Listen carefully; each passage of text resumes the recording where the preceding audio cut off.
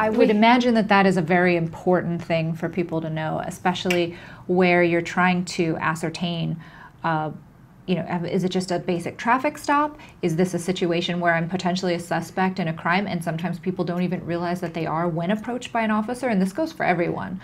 There's a big question about that. You know what's amazing about what you're saying is look how complicated this is, and people aren't even teaching the first thing about it. Exactly. They're just hoping it'll go well when it all happens, if it happens, or they're hoping it won't happen. The same scenarios happen for people who don't have ASD, so to so it's it's far more complicated for people who do, and that's why I think these cards are such an amazing asset to have. Uh, I'm sure that this helps the police. Are you giving this out to law enforcement officers so that when they see them, it's not the first time they've ever seen it? We do give the police, when I do my experience autism training, we do give the police that, that exact information. Okay. Um, but you know what's interesting is people aren't taking responsibility for making this part of everybody's life skills instruction. Mm-hmm. Everybody with an IEP should have this in their educational plan. And in fact, I have 30 IEP goals written in the curriculum so it can be integrated into the teaching.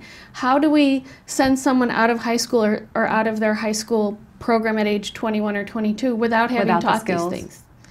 You know, so what is your solution for this? What's well, your I, what's your wish list on my, making sure this gets out there? My wish is that people would prioritize safety with the police for everybody and take advantage of these tools. I created them because they didn't exist and I knew how important they were. And it was very important to have people with autism and other disabilities help make the film that gives it authenticity. Sure. It's peers, modeling for peers.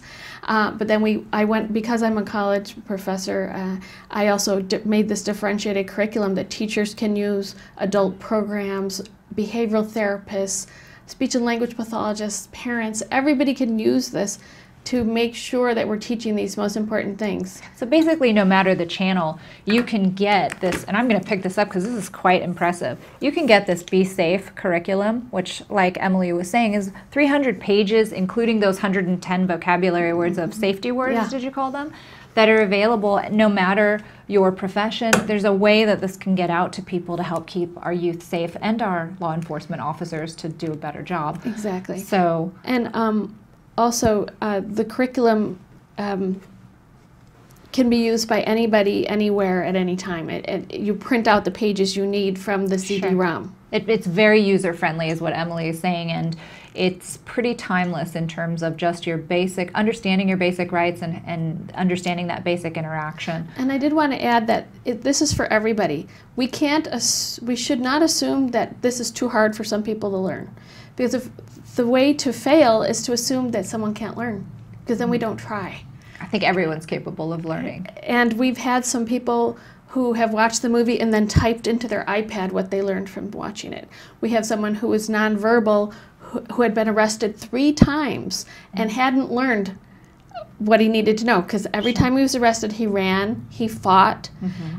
and people would explain to him, "You can't do that. That's dangerous." And he didn't learn it until he watched Be Safe the movie, and okay. he wrote what he learned. He learned to stay where he is, stay calm, do what the police tell me to do, mm-hmm. don't touch their stuff. Right. He learned from watching Be Safe what he couldn't learn in real life from real life experiences, multiple times being arrested.